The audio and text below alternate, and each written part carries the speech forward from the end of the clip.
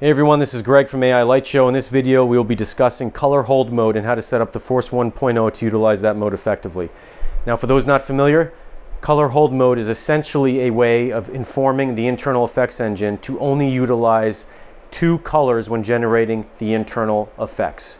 Now, you can switch between these two colors at will using the 10 color bank settings that are accessible on the Force 1.0.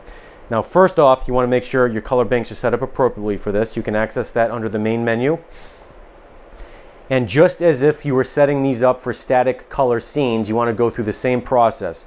The only difference here is that color hold mode utilizes both the primary and secondary color settings. So what you want to do for your primary color under bank one, you want to set this to whatever color you would like. The secondary color, you want to make sure you pick a, a color that complements your primary color. And then when you get to X group primary values, for any dynamic channels that have been mapped to one of these six groups, you want to make sure this is set up appropriately to match your primary color setting. In this case, I mapped the color wheel over Intimidator Spot 360s to group 1, and I set this to map to match the primary color which I set over here. In this case, it was a blue color. So I made sure that the color wheel under the X group primary values for group one was set to blue.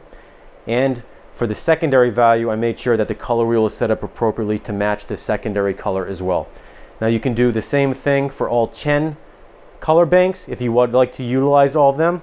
And then once you everything is set up appropriately, return to the main menu. And like always, we suggest saving this off to your DMX universe on the Force 1.0 before proceeding. And at this point, all you have to do is hit run and then we'll show you how this works in real time. All right, now first things first, if you notice on the screen here, there are two green indicators. The top one is labeled color hold mode. You'll see it's currently off. The second, color hold bank, is NA, is because we have not activated any color hold mode banks yet. In order to gain access to those color banks, you hold down the mood button in order to gain access to the mood shift operators. And you have color banks one, two, three, four, five. These are the same color banks that you access through the static color scenes menu as well. And on page two, you have static color banks, but in this case, color hold mode banks 6, 7, 8, 9, and 10. If we go back to page one and I turn on color hold bank number one, you'll see right here on the screen, we have color hold mode is on, color hold bank number one. And you can deactivate this at any point by once again gaining access to the shift operators and, and uh, touching the activated color bank and it'll once again turn color hold mode off. Now what we'll do here is we'll activate a simple sequence and we'll turn on color hold mode and shift between a few of the color banks to show you how it works. So let's get a simple sequence going. At this point, the Internal Effects engine is utilizing all colors at its disposal. I will turn on color hold mode and activate bank number one.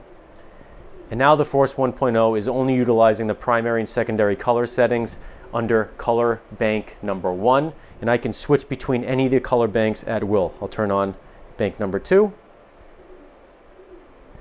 bank number three, bank number four. And at any point I want to deactivate color hold mode, I just gain access to the shift operators on the mood and once again tap the activated color hold mode bank. And now the Force 1.0 is back to utilizing all colors at its disposal. And if I want to activate color hold mode bank number one, this operation applies to all three operation modes of the box. So for example, same thing holds true for normal and for mood. It is as simple as that.